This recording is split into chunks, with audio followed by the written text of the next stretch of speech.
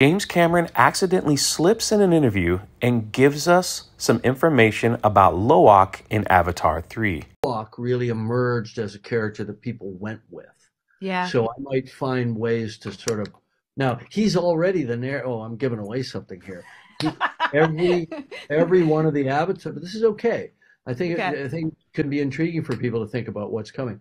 Jake was our voiceover narrator for movie one and for movie two, um, and we have a different narrator for each of the subsequent films. We see it through the eyes of a different character, and and movie three is through Lo'ak's eyes.